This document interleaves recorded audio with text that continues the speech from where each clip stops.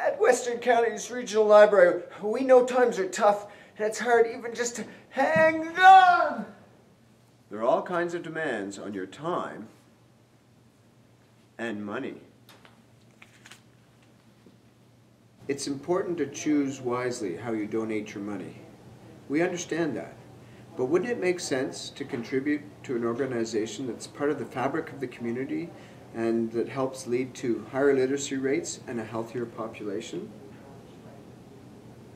It's time for Adopt a Book, the library's largest fundraiser, and you can help by putting new books on library shelves. New books? Gotta love it. What kind of books can I adopt? Oh, any kind. So, mysteries, kids' books, cookbooks, anything? You bet. And you can find a list at the uh, local library. Just to ask the staff at the circulation desk, or you can go on, on you can go online and donate, or you can just donate and let the staff choose. Nice.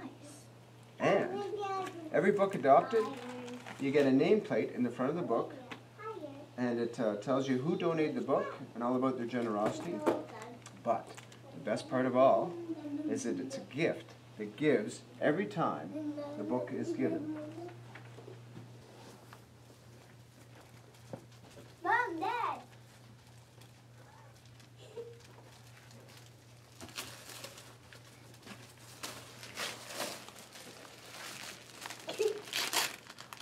All right, if you want to adopt online, just go to our website, westerncounties.ca, and uh, you'll see on the right hand side here this big logo.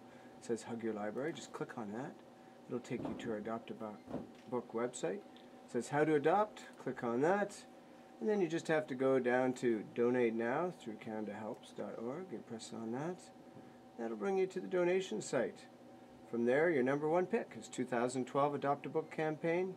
Just fill in the particulars, how much you want to donate, and down here in the messages, talk about the branch you want to donate, or the ebook if you're donating an electronic book, and uh, proceed. And it's as simple as that. Hi, I'm Erin, Regional Library Director. We hope you support our Adopt a Book campaign. For every donation of $10 or more, you get a charitable tax receipt.